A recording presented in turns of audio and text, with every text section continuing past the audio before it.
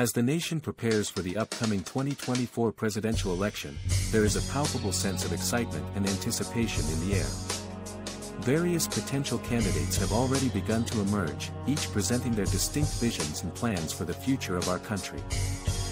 The ongoing debates are filled with energy and passion, as they delve into key issues that will undoubtedly impact the course of our nation for many years to come.